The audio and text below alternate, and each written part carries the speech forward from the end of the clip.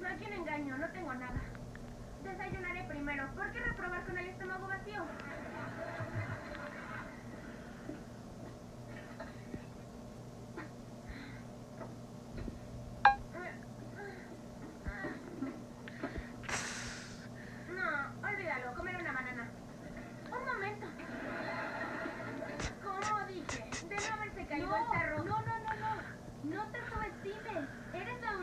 pensó en poner el huevo ahí.